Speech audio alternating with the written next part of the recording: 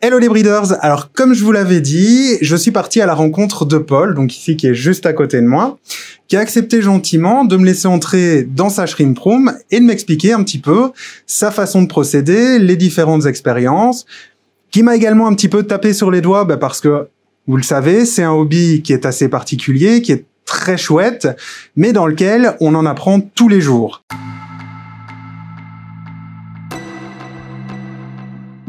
Je m'appelle Paul. Il y a une, je dire une quinzaine d'années que je fais l'élevage de, crevettes. J'ai commencé euh, bêtement en allant dans une animalerie où j'ai vu des crevettes.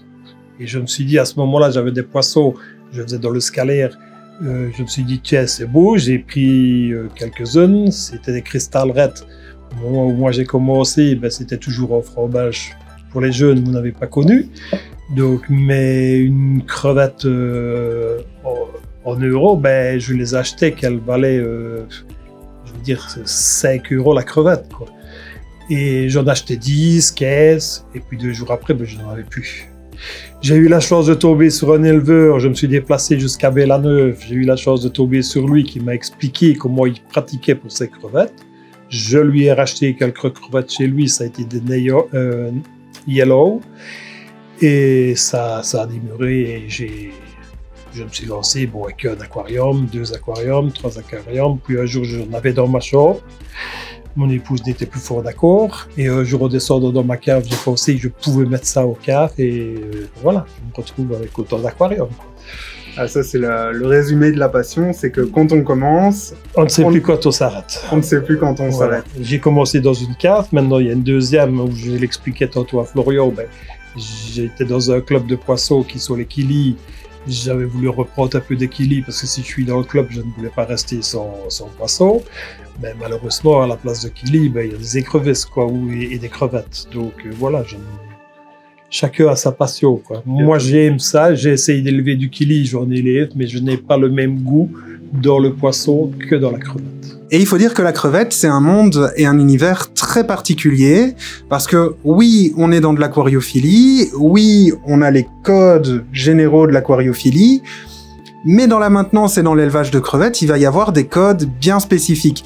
Alors on en discutait justement tout à l'heure avec Paul, notamment en ce qui va concerner la qualité d'eau et les changements d'eau.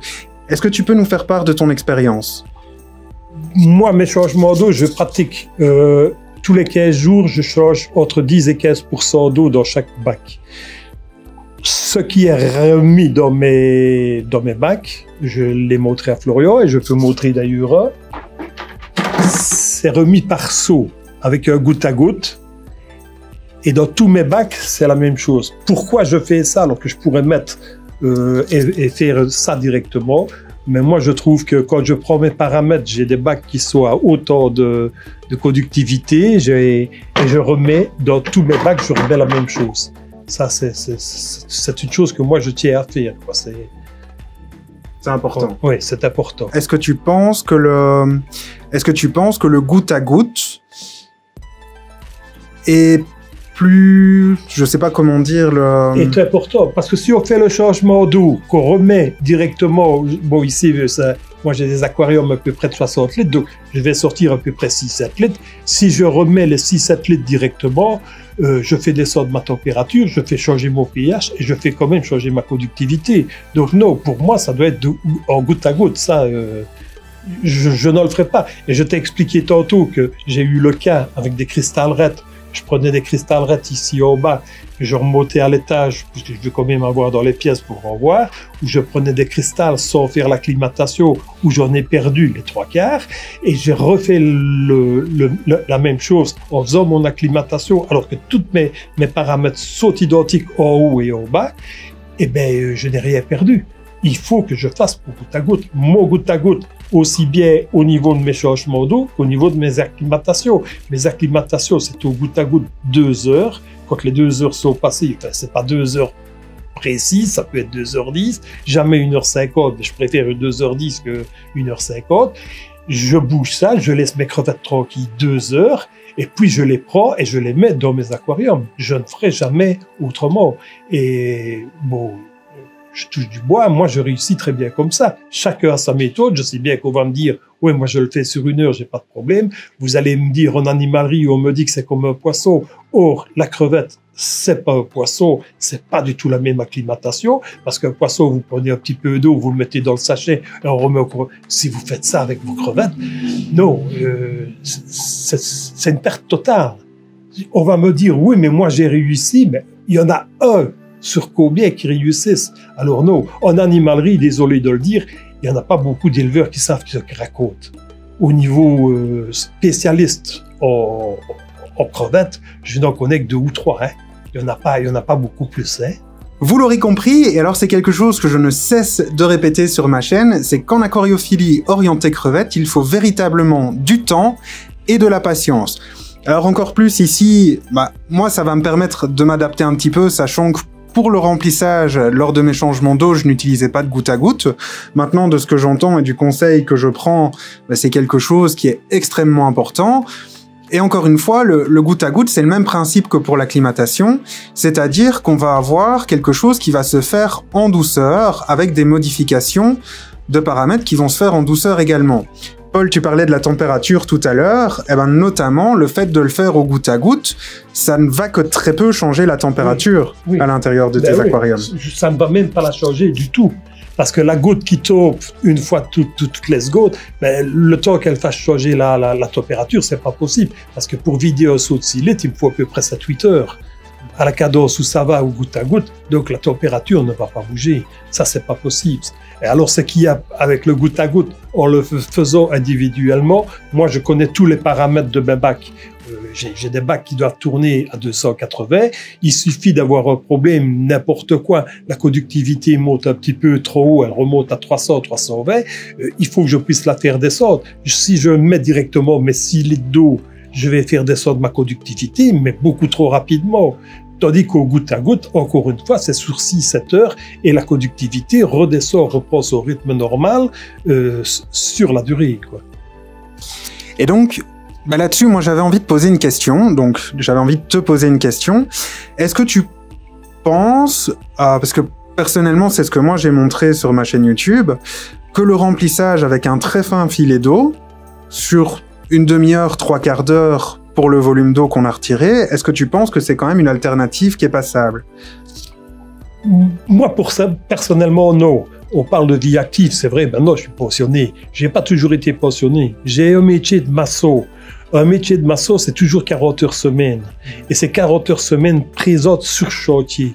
Ce n'est pas euh, arrivé euh, à 8 heures sur chantier, c'était 7h30. Si j'allais travailler à Namur, il fallait que je me lève à 5 heures et je rentrais qu'il était 8 heures du soir. Je n'ai jamais, jamais, au gros jamais, évité de faire mon coup à. Même si je dois travailler jusqu'à minuit, je prends la responsabilité de prendre des bêtes, parce que pour moi, c'est une responsabilité, c'est de les mettre dans le confort qu'elles doivent être. Je prends la responsabilité, mais je m'engage à assumer ma responsabilité. Même si je suis lent et que j'essaye de respecter au maximum les codes de l'aquariophilie orientée crevette, eh ben, j'étais encore un peu trop rapide pour mes animaux. Alors finalement, on le verra dans d'autres vidéos parce que c'est pas le sujet ici, mais j'ai réparti mon entretien, moi personnellement, euh, sur les jours de la semaine, donc c'est-à-dire que je n'entretiens pas tout en même temps, et donc c'est quelque chose de facilement réalisable. Maintenant, j'avais une autre question à te poser. Tu dis que tu changes l'eau tous les 15 jours à raison de 15 à 30%. Non, non, entre 10 et 15%. Entre 10 et 15%, pardon. Maintenant, je vais expliquer le pourquoi tous les 15 jours. J'ai à peu près 30-35 bacs. Donc, une semaine, j'en fais 17 et la semaine d'après, j'en fais 18. Donc, c'est ça que je dis pour ne pas avoir justement ce que tu parles, d'être submergé, d'avoir trop de choses. Mais je prends, je fais la moitié. Et en général, c'est toujours le vendredi matin du fait que je suis passionné, j'ai le temps. Mais ce qui me prend le plus de temps, c'est de ressortir les bébés hors de, du seau. Le, changement d'eau, 17 euh, bacs, je fais ça sur deux heures et demie. Hein.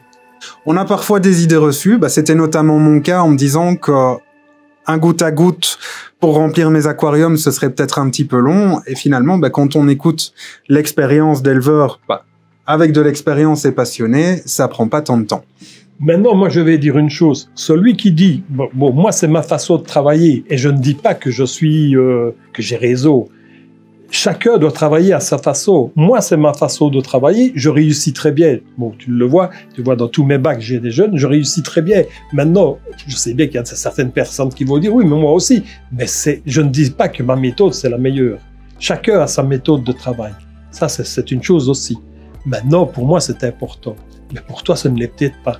Et tu as peut-être réseau et moi tort, ou moi réseau et toi tort. Voilà, c'est tout ce que je dis. Mais est-ce que ce n'est pas ce qui fait la beauté de notre passion ah ben oui, ben oui, voilà, justement. Mais ce serait trop facile si, si tout irait euh, comme une lettre à la poste. Euh, on n'aurait plus de plaisir. Justement, le plaisir, c'est c'est l'élevage, parce que moi, la, la, seule chose qui m'intéresse, c'est faire de l'élevage. Pas au niveau vôtre. C'est le but, c'est d'élever. Et bon, euh, voilà, ça se résume à ça. Quels sont, d'après toi, les paramètres idéaux pour maintenir des crevettes Il n'y en a aucune. Je ne saurais pas les donner. C'est en fonction déjà de où on achète les crevettes de l'éleveur, de la variété de crevettes. C'est ce que je t'ai dit tantôt. Moi, dans mes bacs, ben, j'ai des, conductivités de 280 et je monte jusqu'à 478 pour des néocardinats. Donc, la, chose, la, la meilleure solution, c'est de réussir. Donc, quand on démarre, c'est de prendre l'éleveur qui veut commencer les, crevettes, c'est de prendre les paramètres de l'éleveur où il achète ses crevettes, de démarrer avec ça, et puis de lui-même savoir ce qu'il veut faire et améliorer sa souche et, travailler à sa façon. Mais le point de départ, pour moi, est de partir sur les bases d'où on achète ses crevettes. Moi, si je rachète des crevettes quelque part, parce que je veux un peu changer mon sort, ou si je veux une nouvelle variété de crevettes, ben, automatiquement, avant de les prendre, je regarde si je parviendrai à avoir la conductivité qu'il me faut. Et c'est ça que je dis que je travaille avec mes petits seaux parce que je n'ai pas la même conductivité dans tous mes bacs. Finalement, ça démystifie un petit peu la question que beaucoup d'entre vous se posent, que je me suis moi-même posée, que je pense tu t'es posé aussi un jour, bah, qui était est-ce qu'il existe des paramètres standards et des paramètres tip-top pour maintenir nos crevettes? Donc, Oui, non, il n'y en a pas. Maintenant, il faut, il faut rester logique. Si une cardina, il ne faut pas commencer à vouloir travailler avec une cardina à 600 de conductivité, comme il ne faut pas, bah oui, comme il ne faut pas travailler avec une néocardina à 200. Ça, c'est toujours en fonction de, de, de le départ de la crevette. Et donc sur ce point-là, on retiendra une chose, quelque chose que je vous ai également déjà dit en vidéo, c'est-à-dire qu'on va essayer de calquer les paramètres de l'aquarium dans lequel on va maintenir ces crevettes sur les paramètres de l'éleveur à qui on achète ces crevettes. C'est quelque chose de très important, ça limite le stress de l'animal, ça permet également qu'il s'acclimate beaucoup mieux, et surtout, ça vous permet bah, de développer votre élevage et votre maintenance sans avoir trop de couacs au départ. Ben oui. oui. D'ailleurs, bon, moi je fais, comme on s'est rencontrés là, je fais quelques bourses. Parce que bon, il y a quand même des moments, ça me coûte excessivement d'argent. Tu sais ce que ça coûte une crevette. Ben, j'essaye de quand même un petit peu, mais chaque fois que je suis dans une bourse avec des crevettes, j'ai mon livre avec moi et je peux montrer aux personnes qui m'achètent les crevettes la conductivité, ben, tous les paramètres qui conviennent à ma crevette. Non, libre à lui de le faire ou de ne pas le faire. Mais moi, est mis sur papier. Et là-dessus, eh ben moi j'ai envie de dire quelque chose. Euh, Corrige-moi si je me trompe. On parle de calquer les paramètres de son aquarium sur les paramètres de l'éleveur. Alors, c'est pas sans raison. Euh, si on suit un petit peu l'histoire de la sélection, la majorité des crevettes que l'on va retrouver dans les aquariums sont sélectionnées depuis de nombreuses années. Finalement, la souche que toi tu vas maintenir d'une crevette. Donc admettons, si je prends, je vais pas prendre les fishbones parce que je t'ai racheté des fishbones, mais admettons mes blue bolt à moi, ce ne sera probablement pas la même souche que tes blue bolt. Non, les paramètres de tes blue bolts sont à une certaine conductivité et les miennes sont à une autre. Donc, c'est à ce moment-là. Maintenant, si, par exemple, on veut faire l'échange entre nous deux parce qu'on se dit, tiens, on va peut faire des blue balls, moi j'ai des blue balls, pour un petit peu changer le sang, on va, on, va échanger. Mais c'est possible à faire, mais alors ma durée d'acclimatation devient beaucoup plus longue. Et qu'est-ce que tu vas utiliser justement dans ce cas-ci si tu reprends une souche pour améliorer ta souche comme durée d'acclimatation? Mais à la place de rester, ça dépend encore une fois, malgré tout, de la conductivité de l'autre par rapport à la mienne. S'il y a 10 de différence de conductivité, ben, il y, aura pas longtemps, je, garderai même mes deux heures. Maintenant, s'il y a 70-80% de, de, enfin, 80 de conductivité en plus, à ce moment-là, ben, à la place de rester deux heures, je vais rester trois heures. Je vais essayer de me rapprocher le plus près possible de la conductivité la plus haute des deux, Maintenant, si toi, la tienne est beaucoup trop haute par rapport à la mienne qui doit descendre trop bas, mais je vais essayer de faire redescendre la tienne progressivement, pas trop vite. Si ça me doit prendre 3 heures, ça me prend 3 heures. Si ça me prend 4 heures, ça me prend 4 heures. Mais alors, à ce moment-là, je travaille au niveau en conductivité dans l'eau où mes crevettes se trouvent à l'acclimatation. Et c'est en fonction de ça que quand je vois que mon eau est plus ou moins valable, parce que euh, je veux bien trois ou quatre heures. On va me dire, ouais, ben, oh, je n'ai pas le temps de rester trois ou quatre heures. Ça ne prend pas trois ou quatre heures, puisqu'on n'est pas assis devant l'aquarium en train de regarder. Ça prend 30 secondes, hein. C'est plus facile d'acclimater une crevette que d'acclimater un poisson, parce qu'on ne doit pas remettre de l'eau. C'est, le goutte à goutte qui se fait. es d'accord avec moi? C'est vrai. Ben, ben, automatiquement, ben, il suffit juste de contrôler la, la, la, conductivité, et quand elle est plus ou moins pareille, ben, je les laisse tranquilles deux heures, et à ce moment-là, je sors, et je dis bien, je sors les crevettes et je les remets dans l'aquarium. Jamais remettre le seau, l'eau qui est dans le seau d'acclimatation dans l'aquarium. C'est rien que les crevettes. Le moment parfait pour, pour introduire les crevettes dans l'aquarium, c'est le moment où finalement la conductivité du bac d'acclimatation sera à conductivité de mon aquarium. À l'inverse, si tu prends des crevettes qui viennent de chez moi à 400 de conductivité, bah toi, comment est-ce que tu vas faire ben, je prends l'eau de mon aquarium à moi, qui est plus basse, et automatiquement, en mettant une heure de plus, ta conductivité à toi de, de, de 400 va redescendre. Puisque moi, je vais travailler avec une conductivité, si même je dois travailler, par exemple, je vais prendre le cas exagéré. Tu es à 400, moi je suis à 300. Il faut que j'arrive à faire descendre la conductivité, pas trop vite, mais que j'arrive à avoir un juste milieu. Mais à ce moment-là, je prends même de l'osmose pure pour pouvoir justement diminuer plus fort. Et puis à un moment donné, je vais dire quand je suis à un certain degré, à ce moment-là, je rechange, je remets l'eau de mon bac et je redescends encore un peu. Tu vois, pour ne pas vraiment avoir le choc thermique qui se fait beaucoup trop. Je travaille avec deux, deux, façons. J'ai un bac, un seau avec mon eau de mon aquarium et j'ai de l'eau osmosée pour refaire des sortes un peu plus vite. Mais c'est un truc que je n'ai jamais rencontré parce que, en général, c'est que je t'ai dit tantôt, moi j'essaye de trouver quelqu'un. Avant d'acheter, je me renseigne de savoir ce qu'il me faut dans mon bac. Donc mon bac est réglé déjà en fonction des crevettes que je vais recevoir.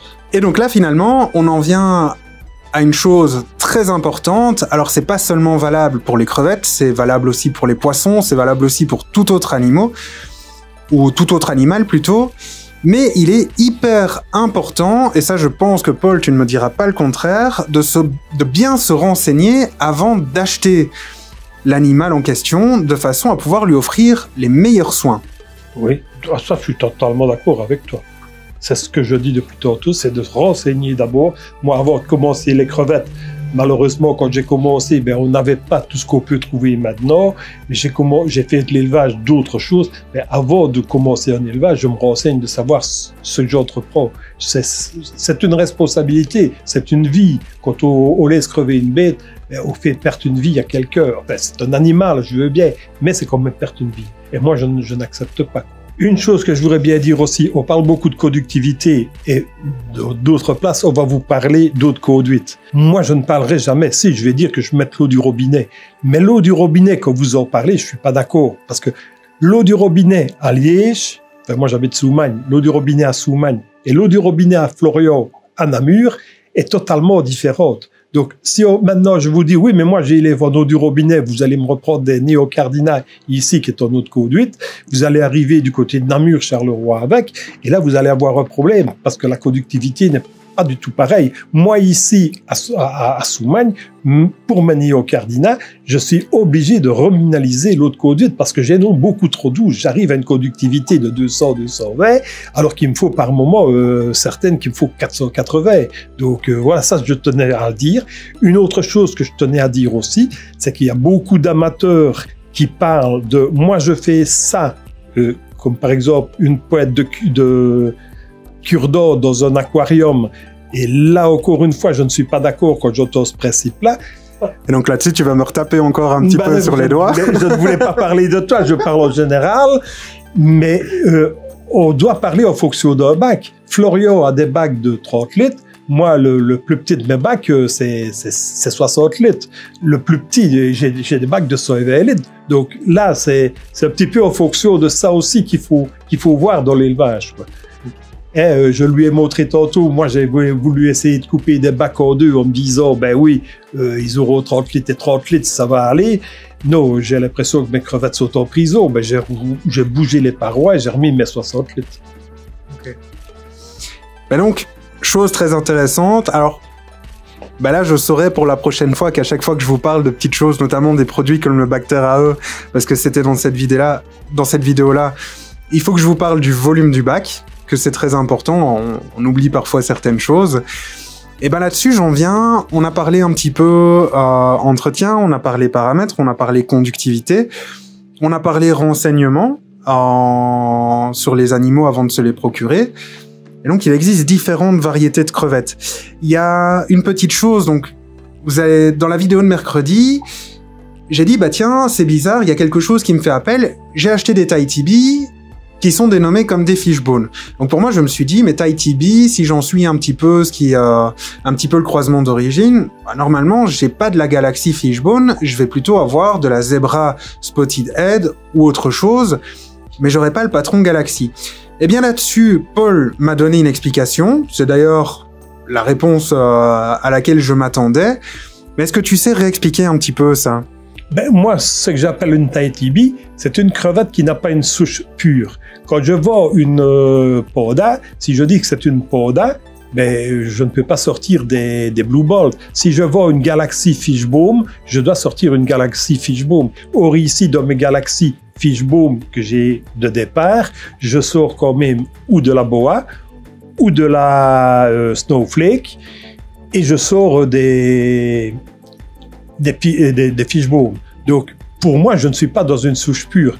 J'arrive à une Tahiti C'est que je veux faire aussi comme remarque, c'est que quand j'entends bien souvent au niveau Taiwan B, on dit j'ai des Taiwan B F1, Taiwan B F2, ça n'existe pas. Une Taiwan B est une Taiwan B. Quand on parle de F1 et F2, on est en cristal.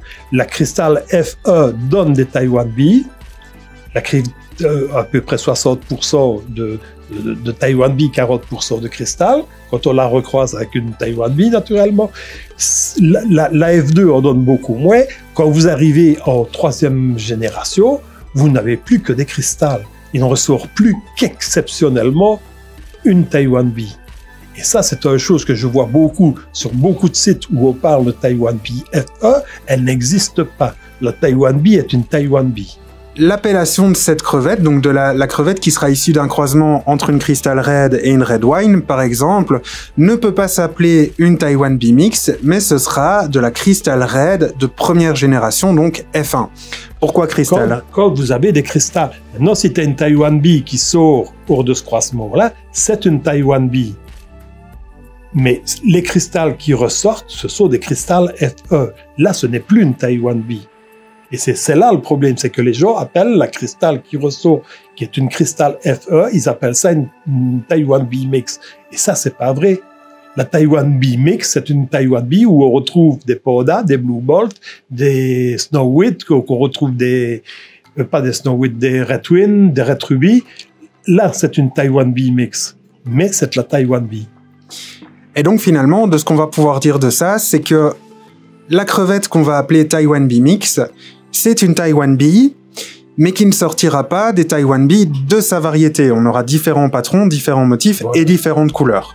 Et de temps en temps, vous ressortirez encore des cristals hors de ça, les, les deux, trois premières générations, des cristals vont ressortir, mais ça, encore une fois, ce sera de la cristal F1, ce ne sera pas une Taiwan B.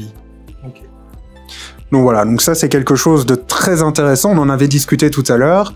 Ah bah, je tenais à le faire partager en vidéo parce que pour moi je trouve ça relativement important. Est-ce que tu peux nous parler un petit peu, donc tu as des aquariums qui sont très plantés, avec de la catapa, de ce que je peux voir, différents sacs, j'imagine que c'est du sol technique. dans les sacs. Qu'est-ce que je te dis Moi, je travaille avec de la kadama. Donc, euh, ça prend quand même excessivement du temps quand tu dois changer tous les faux de, choses. Ben, c'est plus facile de sortir euh, le banilo, de nettoyer mon, mon akadama dans le banilo, de le jeter. Et je garde mon faux d'aquarium pendant deux ans. Et je change mon banilo toutes les années. Donc, euh, c'est un petit peu moins de travail.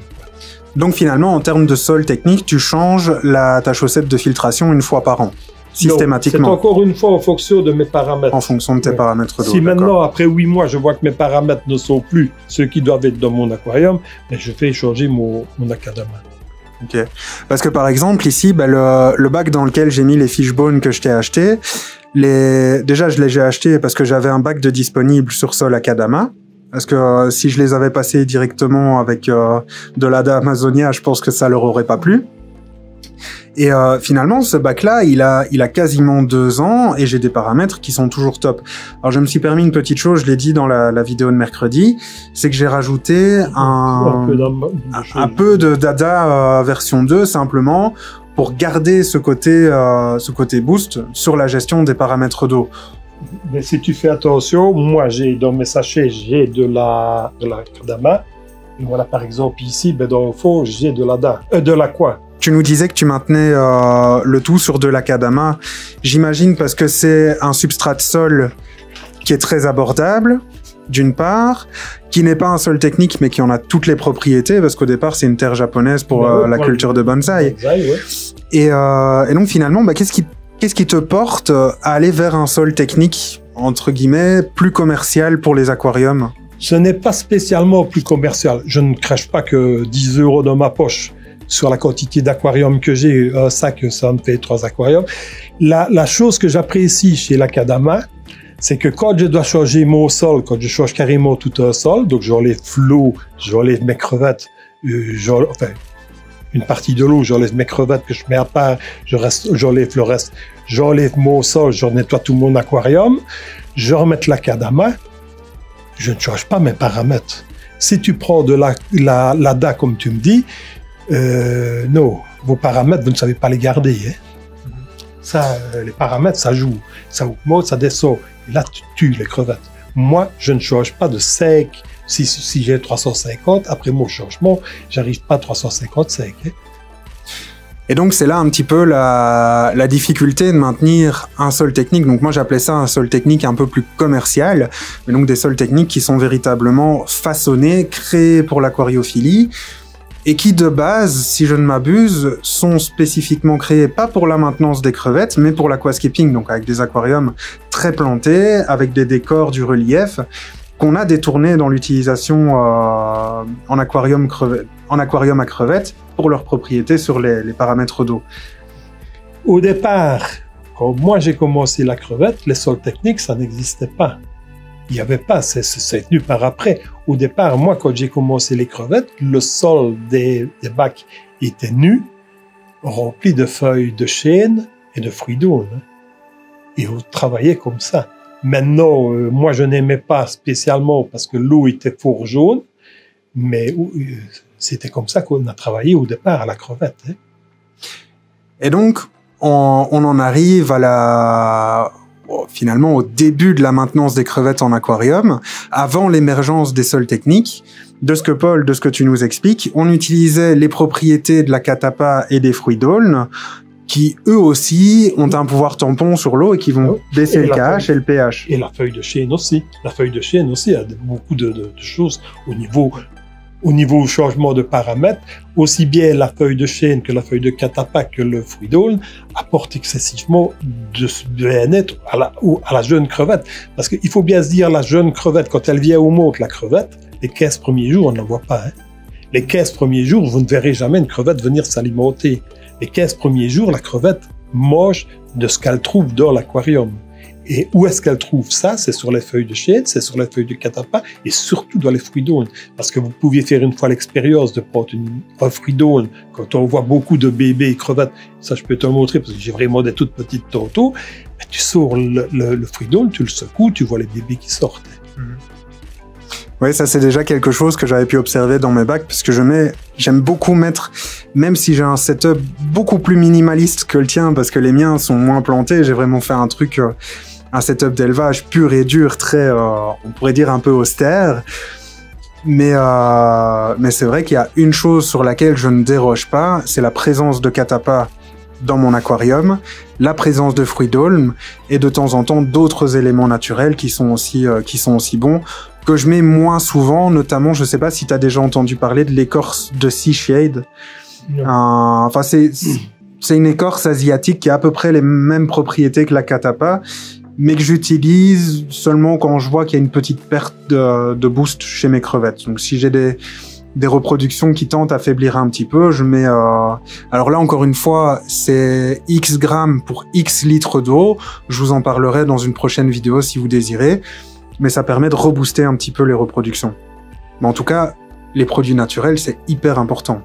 Maintenant, il y a une chose que je voudrais dire aussi, parce que tu as déjà fait deux, trois fois la remarque que j'ai des bacs assez bien plantés. C'est vrai, tous mes bacs sont bien plantés. C'est vrai que bien souvent, je dois regarder pendant une demi-heure de voir un bac. C'est le plaisir de regarder déjà les crevettes, d'essayer de retrouver une qu'on veut voir. D'ailleurs, on a eu le cas tantôt avec celle là au-dessus. Mais euh, la crevette, en général, on parle d'une superficie en longueur, largeur. La hauteur, pour, pour beaucoup d'éleveurs, n'a pas d'importance. Moi, en ayant des bacs très plantés, mon hauteur a de l'importance parce que vu que j'ai les plantes qui couvrent tout la- l'aquarium, la crevette va aussi bien en haut qu'elle n'est en bas. Donc, j'ai une plus grande superficie de pouvoir mes crevettes se déplacer que quand on n'a que des, des- des- plantes en bas. Maintenant, je sais bien que quand je dois sortir une crevette et que je veux la sortir, mais ça me prend du temps. Mais bon, je suis passionné, je suis pas pressé. Mais c'est c'est là d'ailleurs une des belles choses de l'aquariophilie. On en revient toujours avec ça, la patience. Ben oui, C'est oui. Et le plaisir, c'est le plaisir de regarder. Moi, si, si c'est pour avoir des crevettes et de dire, bah ouais, des crevettes, tant pis. Non, moi, c'est de venir et de commencer à rechercher. Euh, ah, euh, ce bac-là, je devrais avoir des jeunes. Parce que plus ou moins, je sais quand je dois avoir une crevette qui doit mettre. Et je cherche pour voir. euh, et, tant que je ne vois pas les jeunes, ben, je, vais regarder après, quoi. Et, et ça me prend peut-être trois jours. Et puis, hein, je, je revois un qui sort. Je me dis, ça va. À ce moment-là, c'est que s'il y en a une, il y en a, il y en a plus. Si on a une, il y en a plus et que tout va bien. Et que tout va bien. J'ai une première question qui vient de Antioche Evolution. Quel est le bon âge pour commencer à trier ses crevettes? Alors, il nous parle ici pour de la Neocaridina et il précise également est-ce que c'est l'âge où les couleurs deviennent stables? Normalement, le- toutefois que la crevette est visible, je vais dire euh, après un mois, le triage se fait. On doit savoir la couleur de la crevette. On doit voir en néocardina si, si, le standard est respecté. Mais en néocardina, euh, tu l'as vu, je ne suis pas euh, spécialiste là-dedans. Je n'ai pas excessivement de, de néocardina. J'ai juste de la Blue Velvet et de la Shakura. Donc, euh, mais au Blue Velvet, je te l'ai dit tantôt, moi je dois trier beaucoup. Et euh, donc ça, c'est d'ailleurs un des problèmes de la Neocaridina, c'est qu'on a des souches qui sont très peu stables, et donc qu'on galère à garder une, une stabilité dans l'aquarium. Moi, j'avais envie de te poser une question euh, pour aller un petit peu plus loin, parce qu'ici, on parle de la Neocaridina. Est-ce que, euh, est-ce que d'après toi, pour commencer à sélectionner ces caridinas, on est également sur un délai d'un mois? Oui, la cardina, c'est même encore plus vite. La cardina, toutefois qu'on voit la crevette, on sait bien la qualité de la crevette. On voit, on le dessin de la crevette qui est marqué. Toutefois qu'elle est visible, enfin moi, il me faut des lunettes pour, le voir. Mais euh, à ce moment-là, ben, je, saurais trier et dire celle-là, elle me convient pour, telle et telle chose, celle-là ne me convient pas. Voilà, ici, j'ai mes Shadows euh, Mossura Blue qui sont là. Ben, c'est que je t'ai dit tantôt, j'ai un bac qui est libre parce que je veux trier, parce que dans mes Blue Shadows, ben, j'ai des, j'ai des blue balls qui sortent dehors. C'est- une petite minorité, mais je les vois toutes petites. Que, parce que une fois que la, crevette a, a un centimètre et demi, c'est trop tard pour l'acclimatation. Parce que plus la crevette est petite, plus facile tu as pour la- l'acclimatation. Pas trop petite non plus, mais quand on essaye, parce que les gens, bien souvent, ils veulent une crevette, une grande crevette pour se dire ça va plus vite. Non, déso- désolé, c'est beaucoup plus de problèmes de perdre la crevette que de prendre une crevette un peu plus petite. Alors ça, c'est d'ailleurs quelque chose, euh, je pense que j'en avais déjà parlé sur la chaîne. Quand on achète des crevettes, ou alors pour certains qui ont eu des reproductions de crevettes et qui souhaitent les vendre, bah, en général, la taille maximum pour vendre une crevette, c'est un centimètre. Au-dessus d'un centimètre, ça commence à être Je un peu... un euh, centimètre et demi. quand un même. centimètre et demi quand même. J'ai certaines variétés qui grandissent très rapidement. Ben oui, Du coup, ouais, ça euh, dépend un petit peu la variété. Voilà, c'est, c'est un peu- Donc- ça dépend un petit peu la variété de la crevette. Quoi. Et donc on va, on va se dire qu'un centimètre et demi, c'est la bonne taille. Au-dessus, ça devient un petit peu compliqué de les vendre parce qu'on a un risque de perte Ouais. de l'autre côté. Et or, les gens ne voient que ça. Quand on leur propose une crevette d'un centimètre, un centimètre et demi, on a l'air de dire, oui, mais non, c'est pas ça qu'il me faut. Il me faut une crevette de, de 3 centimètres directement. Moi, à ce moment-là, je, ne- je, je ne cherche pas, je, je explique le pourquoi. Maintenant, quand on ne veut pas écouter, qu'on croit que je parle pour ne pas avoir une crevette plus grande, retirez votre plan. C'est, pas, moi, ça m'est déjà arrivé parce que je suis pas un marchand, je suis un éleveur. Ça m'est déjà arrivé d'avoir des personnes qui venaient pour me prendre des crevettes ici, où j'ai dit, monsieur, vous sortez, vous n'aurez pas de crevettes de chez moi.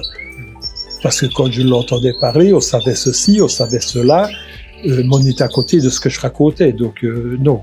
Moi, j'élève, je passe mon temps à élever. Ce n'est pas pour que dans trois jours, mes crevettes soient crevées. Alors, à ce moment-là, et je le dis encore, je suis éleveur.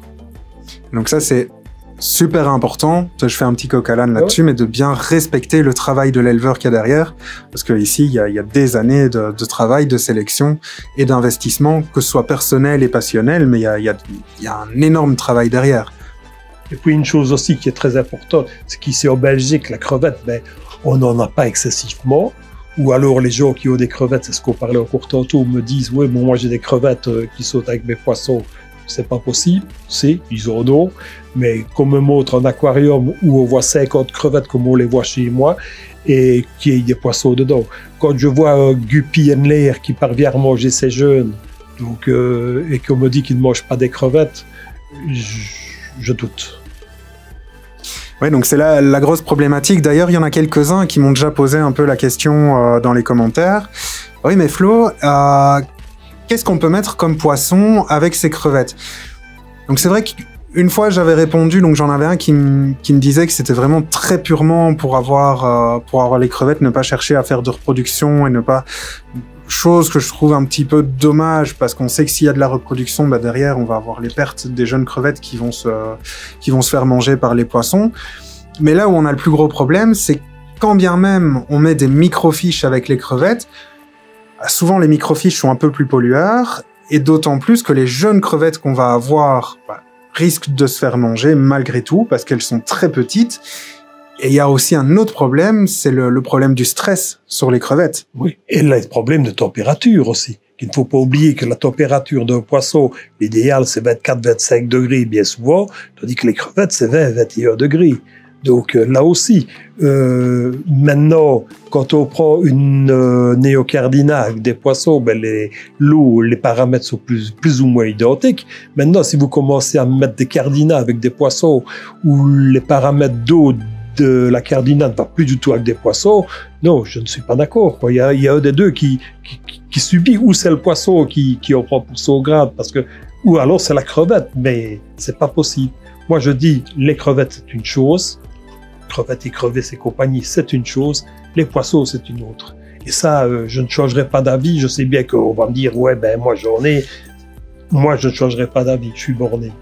Bah, c'est surtout les 15 ans, ah, Ben quasiment oui. 15 ans Oui, d'expérience Je l'ai qui essayé, eh ben, je l'ai essayé, hein, j'ai essayé hein, de mettre des crevettes avec des poissons. J'ai eu des guppies en l'air. Et à un moment donné, ben, je me suis dit, tiens, pourquoi est-ce que j'ai pas des jeunes? Et quand je vois la, la grosseur d'une crevette, d'ailleurs, si on peut, peut le faire tantôt, de prendre une photo, je vais essayer de montrer aux jeunes. Quand on voit la grosseur d'une crevette, quand on, quand on la voit, donc pas quand elle vient au monde, quand on parvient à la voir, euh, Ah, ça c'est fait- c'est trois fois plus petit qu'un jeune guppy. Ah ça, ça fait, ça fait quoi? Ça fait quelques millimètres. Ah ben oui, eh, encore quelques millimètres, c'est même pas... gentil. Oui, oui. Alors, euh, non, quand- nous, on ne la voit pas, mais le poisson, il la voit. Hein. Mais là-dessus, je te propose de, euh, de passer à la question de Flo. Quelle est la taille idéale d'un bac pour Caridina et avec quelle population est-ce que tu ensemences ton bac? Ça, c'est encore difficile à dire aussi. Moi, au-dessous de 60 litres, je ne suis pas d'accord. Parce que, encore une fois, en fonction de où se trouve le bac? Moi, je travaille ici Tu le vois au cave où j'ai une température euh, hiver comme été de 20 degrés. Maintenant, quand on travaille avec un bac de 30 litres, quand on est dans une pièce habitable, avec les chaleurs qu'on rencontre de plus en plus maintenant, la température d'un bac de 30 litres, quand il fait 52, enfin non pas 50, mais 35-40 degrés à l'extérieur, euh, elle monte à combien dans vos bacs? Elle peut monter très haut. Ah J'en ben oui. une très mauvaise blague. Mais c'est ça, c'est ça le problème. Donc pour moi, le, le- le bac minimum, là encore je vais me faire taper sur les doigts, minimum c'est 50 litres. Mais c'est ce qu'on, c'est ce qu'on lit souvent, en tout cas, c'est ce qu'on entend de plus en plus souvent, que la, la taille minimale d'un aquarium à crevettes, c'est 50 litres, mais qu'on peut les maintenir en anneau aquarium de 10, 20, 30 litres. Non, non, non, 20 litres, le minimum. 10 litres c'est pas possible, parce que là, le, les paramètres, c'est- impossible à tenir, même sans, même sans chaleur, parce que tu mets un peu trop de nourriture, c'est fait, tes paramètres, c'est... Non, non, le minimum de départ, c'est 20 litres.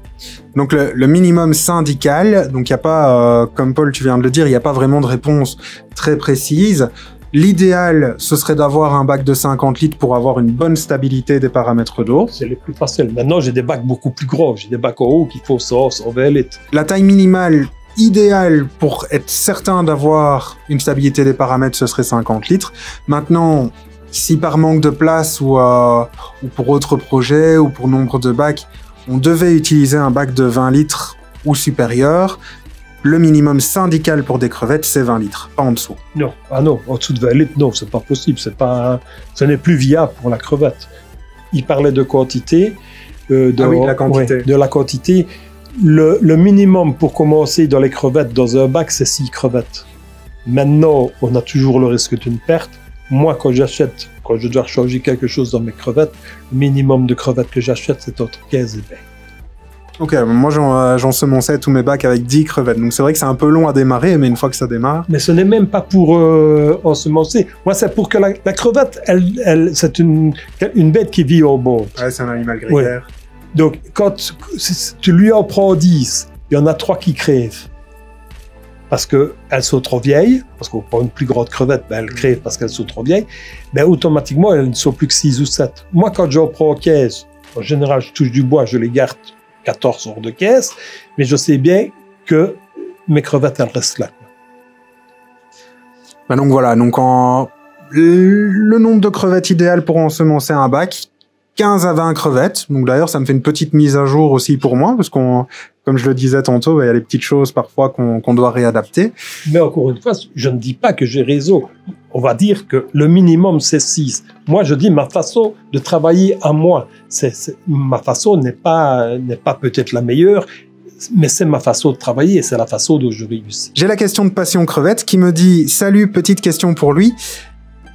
A-t-il des petits secrets pour booster ses reproductions? Non.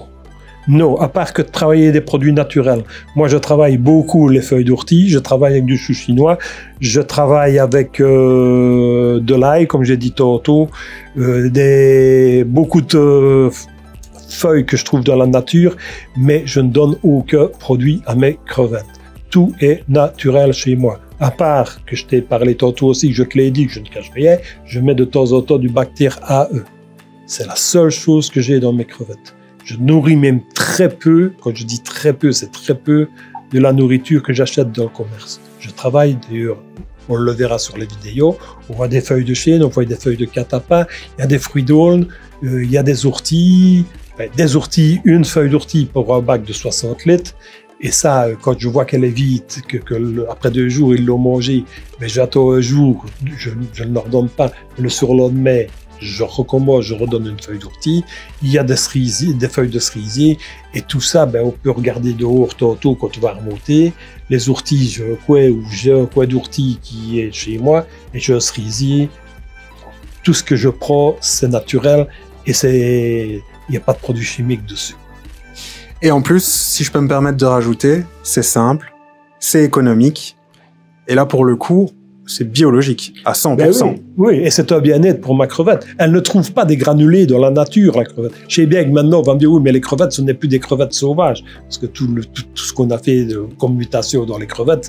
Mais bon, euh, moi, je vois bien qu'elles se portent bien, et que quand je mets une, une, une feuille de, de noisetier, de ce, ou même des noisetiers, je mets des feuilles de noisetier, mais j'ai, j'ai 20 crevettes qui viennent après deux jours, j'ai 20 crevettes dessus, quoi.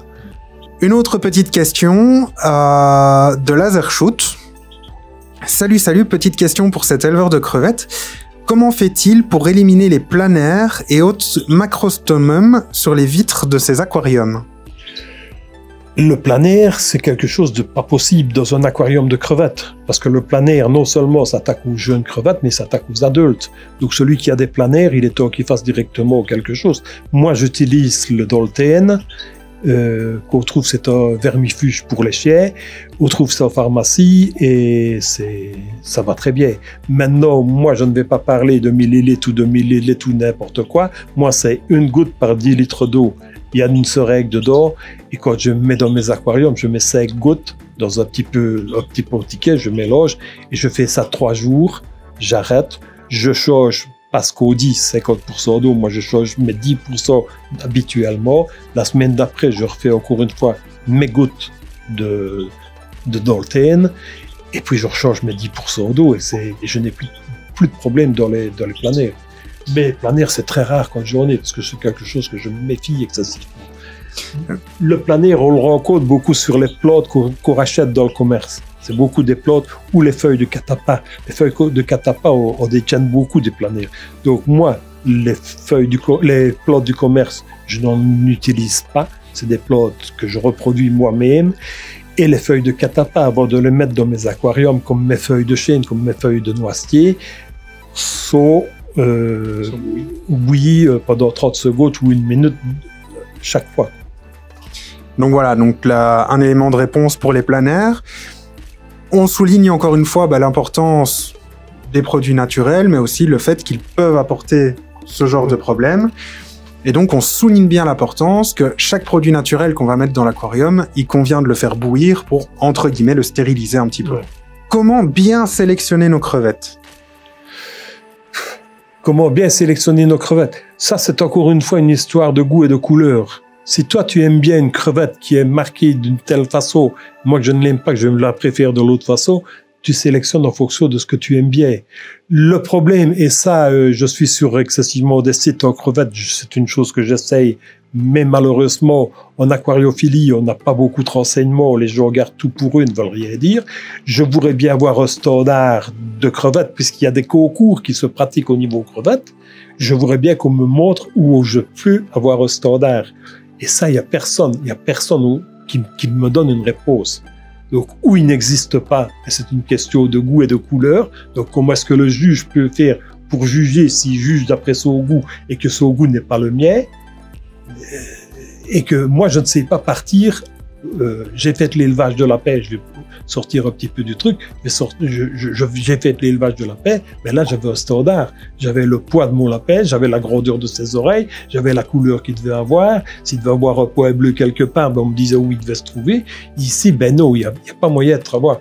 Vous allez en parler, on va vous montrer, euh, oui, euh, comment comment faire des croisements. Moi, je demande pas ça. Moi, je demande un standard. Comment, voilà, j'ai des galaxies Fishbone. Comment est-ce que ma galaxie Fishbone pour être valable doit être bonne J'ai des blue balls. Comment, pour un juge, la, la blue ball doit être Ça, vous ne parvenez pas à trouver. Bah oui, c'est d'ailleurs la, la, problématique. Donc finalement, comment bien sélectionner ces crevettes? Ça reste une, une question à laquelle il est très difficile de répondre parce que d'un côté, bah, soit je fais de la sélection pour un concours et là, bah, fatalement, il y a des critères à respecter qu'on n'a pas toujours sous les yeux. Les, seuls critères, moi, que j'ai en tête euh, et que j'ai pu trouver, c'était qu'il y avait trois crevettes, qu'il fallait qu'elles aient toutes la même taille, les mêmes patrons, les mêmes, les mêmes couleurs, mais ça reste du très classique. Et puis, il y a aussi bah, le, le critère, en, entre guillemets, le critère personnel, donc c'est-à-dire la crevette me plaît, la crevette me plaît moins, j'ai envie de garder cette crevette-là plutôt qu'une autre, de sélectionner cette crevette-là plutôt qu'une autre, et encore et encore un autre critère qui est le critère avec ce qu'on voit un petit peu euh, ressortir souvent, ce sont les cartes de grade. où finalement on peut se baser en se disant bah si j'ai de la Tahiti j'en ai une qui ressemble un petit peu à de la Pinto, donc je reprends encore celle-là comme exemple. Bah voilà, je vais avoir une Pinto one spot, two spot, trois spots. Hop, je vais les mettre en, je sais pas pourquoi je dis trois en français, mais c'est pas grave. Je vais les mettre dans des aquariums séparés et faire ma sélection. Ben oui, voilà. Ça, c'est ce que je dis, c'est une question de goût. Si celui aime bien le, il, aime bien la, la, la, je vais dire là, par exemple, voilà, je vais prendre le cas des les, euh, bleus aux yeux orange, les, les royales. Mais dans les tigrés royales, mais je sors une crevette où, qui est plus claire, mais qu'on voit beaucoup mieux qu'elle est tigrée. Mais celui qui préférera une crevette qui est un peu plus claire, mais qu'on voit qu'elle est tigrée, et que l'autre qui préférera la royale, qui pour, euh, pour, pour un novice est une crevette bleue avec des yeux orange. Or qu'elle a les, les, marques qui sont faites aussi, mais ça, il faut, faut vraiment regarder et faire attention. Ça, c'est une question de goût. On ne saurait pas discuter. Donc finalement, moralité de l'histoire, alors tu me reprends si je me trompe, la meilleure façon de sélectionner ces crevettes, c'est de les sélectionner avec passion et beaucoup d'amour. Voilà, c'est ça, c'est ça. Et avec goût. C'est se dire, ben moi je veux celle-là, et, et ça se résume à ça, quoi. Et alors je terminerai avec une dernière question, en, parce que ça, ça fait déjà un petit temps. Euh, quel est le meilleur sol pour les néocaridina? Tu nous as dit que tu n'avais pas beaucoup de, cari de néocaridina. Est-ce que tu penses qu'il y a un sol mieux qu'un autre, à part un sol neutre oui. Pour moi, le meilleur sol pour la néocardina, c'est ce qu'on trouve dans les côtoirs de matériaux, euh, le sable raie. Pour moi, c'est le meilleur bien rincé. Et on met ça, euh, je ne vois pas pourquoi je dois les payer des sacs bien chers, alors que c'est identiquement la même chose que, que ce qu'on trouve dans, dans, les côtoirs de matériaux. C'est pas faux. Ben voilà, c'est euh, la fin de cette, de cette rencontre avec toi. Euh, moi, j'avais envie de te dire un grand merci. Ben, merci à toi de t'être déplacé jusqu'ici. C'est un plaisir de te rencontrer, c'est un plaisir de discuter avec toi et ton copain. Donc euh, voilà, c'est. Ben, ça a été un plaisir de, de venir jusqu'ici, justement, et de discuter avec toi, d'en apprendre davantage sur nos animaux. Euh... J'espère qu'on gardera contact et qu'on parviendra encore à se revoir euh, à gauche ou à droite, euh, toujours. Oui, bien sûr. En tout cas, moi, j'y compte bien. Et d'ailleurs, tu m'as, enfin, pour la petite anecdote, tout à l'heure, on discutait et j'ai eu une petite idée de vidéo quand tu nous as montré un petit peu la façon dont tu réalises ta propre nourriture. Et ce que j'ai envie de te proposer, c'est éventuellement, bah, à un moment donné, de revenir et qu'on fabrique cette nourriture ensemble pour montrer un petit peu comment tu fais. Oh, bah oui, ça aussi, c'est possible, va, venir aussi. Mais ça, euh, c'est ce que je disais aussi. Il euh, y a beaucoup de choses que moi, je veux essayer aussi parce qu'on travaille avec des œufs pour euh, faire le granulé comme pour les lolis. Mais je remarque que quand je fais des granulés avec des œufs, ben après un mois, mon granulé n'est plus valable. Il n'a plus les choses. Je voudrais essayer avec d'autres produits, quoi. Donc euh, ici, je vais essayer avec de l'eau. Quoi qu'il en soit, bah, encore une fois, un grand merci à toi de nous avoir partagé ces petites connaissances et ces petites astuces. Je pense que ça va en aider, en aider un très grand nombre. Pour ma part, eh ben, je vous dis à la semaine prochaine. On se retrouvera mercredi pour un suivi d'élevage. Si tu découvres la chaîne, n'hésite pas à liker la vidéo, t'abonner et activer les notifications pour ne rien rater du contenu qui va arriver. Et en attendant, le plus important, prends soin de toi.